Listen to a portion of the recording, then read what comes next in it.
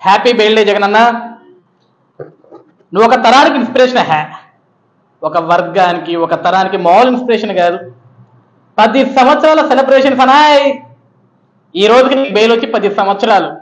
అలా నాకు అర్థం కాని విషయం ఏంటంటే స్టుబట్పురం దొంగలకు కూడా నీకున్నంత క్లారిటీ ఉండదు తెలుసా? వాళ్ళకి దొంగతనం చేయటం పట్టుబట్టడం జైల్లో కూర్చోవడం మాత్రమే తెలుసు. కానీ పది సంవత్సరాలుగా ఒక బెయిల్ మీద బయటకు వచ్చి కనీసం ఒక్క కేసు కూడా కోర్టుకు పోకుండా నువ్వు తిరుగుతున్నావు చూడు ఆంధ్ర ప్రజల మధ్య ప్రజల నాశనం చేసేదానికి.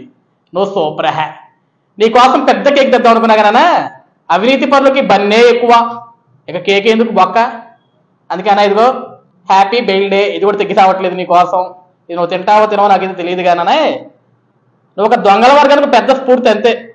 ఆ చెంచల వల్ల దొంగలందరికీ చెప్పొచ్చు కదన్నా ఎలా బెయిల్ మీద బయటకు వస్తే జైలుకి పోకుండా కోర్టుకు పోకుండా ఎలా ఉండాలి? ఒక క్లాస్ పెట్టు.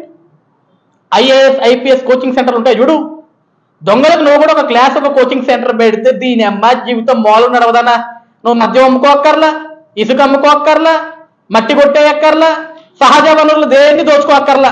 నువ్వు కేవలం బెయిల్ మీద బయటకు వస్తే మళ్ళీ జైలుకు పోకుండా కోర్టుకు కనీసం పోకుండా ఏ విధంగా తప్పించుకు తిరగాలి అనే క్లాసులు పెడితే ప్రపంచంలోనే చార్లెస్ సోబ్రాజ్ కంటే తోపు దొంగవు నువ్వు. వాళ్ళందరికంటే మించోడు అయిపోతావు కాబట్టి అనాయ్ హ్యాపీ బెయిల్ డే ఇది కూడా నువ్వే తిను. నా వల్ల కాదు. ఓకేనా?